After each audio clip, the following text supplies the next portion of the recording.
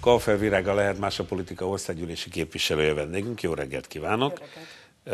Mielőtt arról beszélnénk, hogy a választmány hogyan alakult át a hétvégi Balatonalmádi tanácskozáson, érdekelne az, hogy készülnek a napi rendelőtti felszólalások az országgyűlésben a kialakult gazdasági szituáció miatt az LMP-ben, vagy nem? Hát mi már nyilatkoztunk ugye a hétvégén a pénteki pénteki napon ezzel kapcsolatosan, és a mai napra nem tervezünk napi rendeleti felszólalást, de a héten ez meg fog történni. És akkor miért késnek? Hát... Úgy gondoljuk, hogy mi elmondtuk... Hogy várnak még egy kicsit, hogy bejelentik a csomagot, és majd arra reagálnak napi rendelőt? Van ennek egy ilyen vonzata is egyrészt, másrészt pedig pénteken elmondtuk a médiában azt, amit, amit, amit a, a jelenlegi helyzetről gondolunk, az alapján, amit tudunk most, úgyhogy, úgyhogy egyenlőre, egyenlőre úgy érezzük, hogy, hogy az álláspontunk az világos.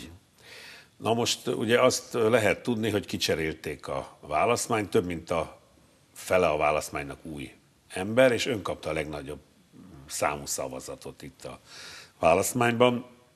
Mit jelent ez a személycsere dömping, ha szabad így kifejeznem magam?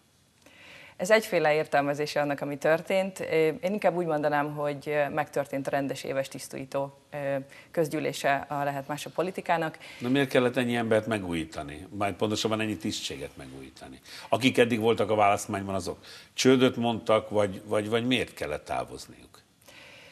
Igazából ez, ez azt, azt mondanám, hogy a, a, az általunk kifelé és befelé is hirdetett részvételi demokráciának az eredménye, ugyanis a tisztújító közgyűlésekre a párt teljes tagsága jogosult jelöltetni magát, illetve másokat jelölni, és ennek következtében azt gondolom, hogy az egy nagyon szép eredmény, hogy a pártból közel 60 ember jelöltette magát vagy másokat arra, hogy, hogy valamilyen tisztséget betöltsön a pártban, és, és egy két lépcsős, for, két lépcsős választási folyamat során egy, új, egy félig, félig megújult országos választmány alakult ki, de azért azt is elmondanám, hogy hogy az előző választmányhoz képest a fele a mostani választmánynak új, de azért nagyon sok olyan tag került vissza a választmányba, akik korábbi választmányokban már ültek.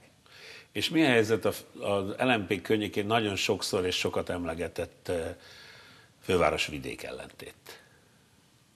Köszönöm Ügyében. a kérdést.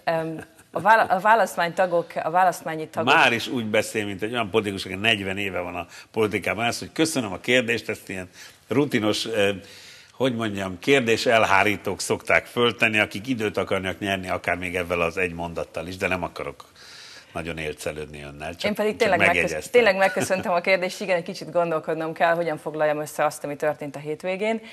A hétvégén az történt, hogy a választmányba indulók jelentős része, és azok, akik bejutottak, azok közül elég sokan ö, ö, a beszédükben elmondták, hogy hangsúlyt szeretnénk fektetni arra, hogy ez, a, amit mi belül értékszintézisnek nevezünk, tehát amit ön vidék főváros ellentétnek hívott. Én inkább az az mondanám, önök szemében értékszintézis. Egy értékszintézis folyamata, egy belső politikai vita kérdése, ami, ami, ami a, a, a társadalmi fronton baloldali, liberális gondolkodás és a, és a, és a gazdasági fronton konzervatívabb álláspontok és a vidék szempontjának a, a szempontjainak és érdekének az érvényesítése zajlik. Ez egy, ez egy folyamatos politikai vita a párton belül, ezt mi soha nem rejtettük véka alá, és nagyon sokan az új választmányban céljuknak tekintik azt, hogy ezt, ezt a politikai vitát most így, most, most újra kezdjék, most újra középpontba helyezik. És mi lesz ennek belül. a vitának a vége? A főváros vagy a vidék nyer? Ha én tudnám, akkor valószínűleg látnám a jövőt. Mi értékszintézisről beszélünk, tehát igazából az a célunk, mind, mindkét, mindkét tábornak az a célja, hogyha lehet ilyenről beszélni, hogy megtaláljuk a közös nevezőt, és létrehozzuk azt az ökopolitikai gondolkodást és politizálást, ami, amiről, amiről beszélünk. De egy ökopolitikában másként gondolkodik egy vidéki, meg egy fővárosi ember? Nem, csak párbeszédben van, és nem gondolja úgy, hogy feltétlenül ellentétesek az érdekei. Uh-huh.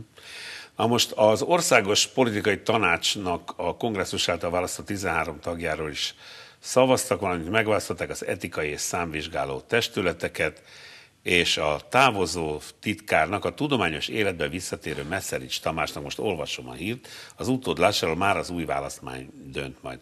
Miért megy vissza Messzerics Tamás a tudományos életbe? Hát, nem mondja, hogy ezt tőle kellene megkérdezni. Nem, nem, nem, ezt, nem, ezt, nem ezt akartam mondani. Nem megy feltétlenül vissza Messzerics Tamás a, a tudományos közéletbe, ugyanis ahogyan én megkaptam a legtöbb szavazatot az országos választmányból, ő megkapta a legtöbb szavazatot azért, hogy az országos politikai tanácsba kerüljön. Értem, akkor ezek szerint ez a hír egy kicsit pontatlan volt. Köszönöm szépen, hogy itt Én is köszönöm.